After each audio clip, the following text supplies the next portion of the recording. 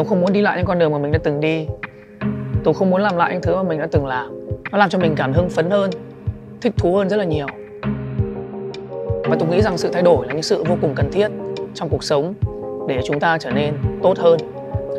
Tùng nghĩ rằng khi chúng ta còn là những đứa bé, chúng ta luôn có một ước mơ vô cùng to lớn rằng ấy sau này tôi muốn trở thành một siêu nhân, một siêu anh hùng để bảo vệ những người mà tôi yêu thương, và thậm chí là bảo vệ cả cái thế giới này. Và tôi cũng thế mà thôi.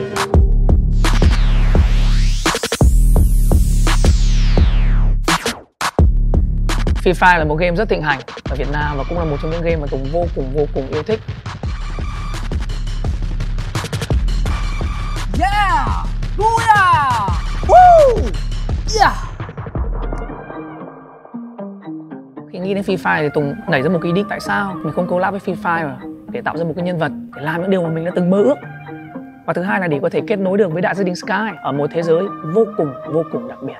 Free Fire đã sở hữu cho mình những ngôi sao rất nổi tiếng trên thế giới như là Cristiano Ronaldo, uh, Roshan hay là DJ Alok. Ở tại Việt Nam thì chưa từng có một ca sĩ, một diễn viên hay một người mẫu nào ở trong ngành giải trí đã được tạo ra một cái nhân vật ở trong game. Đối với một cái ngôi sao mà đã có một cái tầm cỡ ảnh hưởng lớn như Sơn Tùng MTP tại Việt Nam, đối với chúng tôi cái thử thách lớn nhất đó chính là việc phải tạo ra một cái nhân vật giống Sơn Tùng MTP nhất có thể. Từng chi tiết trên gương mặt, từng cử chỉ, từng điệu bộ. Đó phải là Sơn Tùng MTP thì mới có thể thuyết phục được hàng triệu khán giả. Đây chính là nhân vật đó. Tùng nghĩ rằng cái thử thách đầu tiên của Tùng và đội ngũ đó chính là tạo hình nhân vật. Làm cách nào mà để cho người chơi cũng như khán giả có thể cảm nhận được chính họ thông qua Skyler.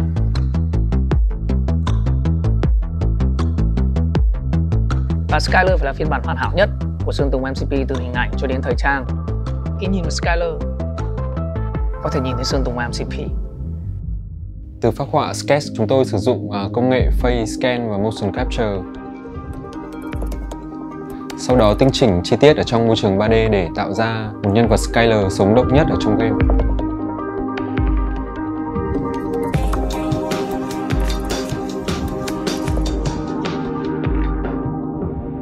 Qua quá trình nghiên cứu và tìm hiểu những cái moment và những thứ iconic nhất của Sơn Tùng thì chúng tôi quyết định là sử dụng cái hình ảnh Sơn Tùng đang phiêu cùng với cái cây đàn guitar trong Sky Tour của anh.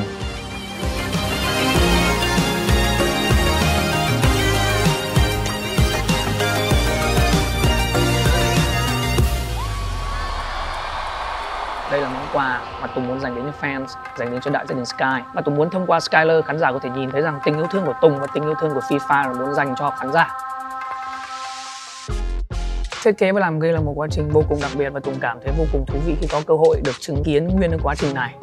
À, được thấy Skyler từ trên giấy phác thảo và tạo ra một cái nhân vật y chang mình. Nhảy nè, đi nè, đứng này. Hơn thế nữa bây giờ còn nói chuyện y chang Sơn Tùng MCP nữa. Đêm nay chúng ta có thuộc với nhau không nhở? Và Tùng mong rằng thông qua Skyler khi mà mọi người dùng Skyler để chơi trong game này thì mọi người có thể cảm thấy rằng Ê, như là đang trò chuyện và tâm sự cùng với Sơn Tùng MCP Sky ơi! Say booyah!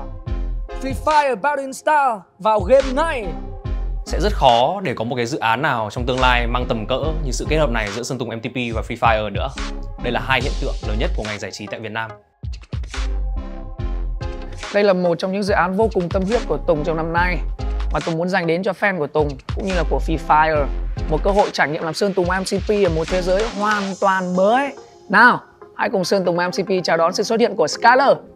Xin chào bạn. Hẹn gặp lại.